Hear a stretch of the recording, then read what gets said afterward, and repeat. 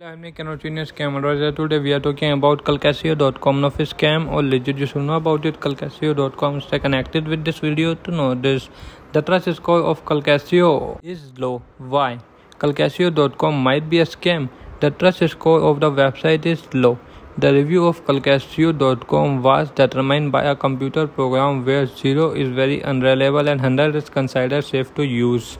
Our algorithm determines the trust score based on 40 different data points it collects. Example are the location of the server compared to the location of the company and if the website has contact details are so or not. Rating and review which are given on safe.shop and other review sites etc. The computer program determines that the website has a low trust score. This means that advice to do your own checking as well to make sure before you shop or leave your contact details this website.